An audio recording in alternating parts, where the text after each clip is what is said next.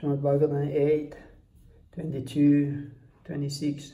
Charma karma vayurupa vidya isvarya dhanam dipi yadas dhyana bhavet stambas tatrayam.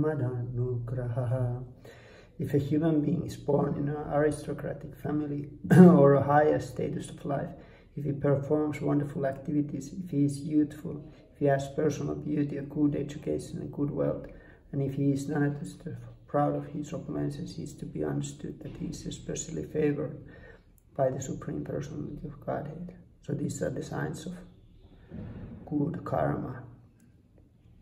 That uh, that one has a nice birth, and he is is talented and has uh, physically attractive features, good education, good wealth.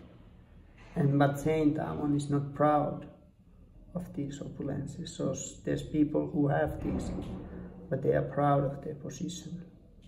So if one is, instead of having all these, one is humble, then one can see that there's mercy of Supreme. That somehow they have attracted the mercy of Supreme. They have been practicing bhakti in their previous lives.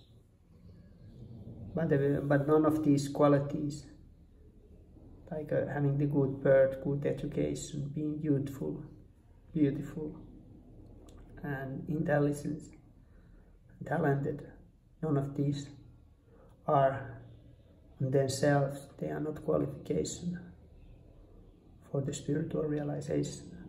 So spirit is beyond these, these are still material qualities. And one have to rise above these different, not get bewildered of these different opulences. Srimad Bhagavatam Gita.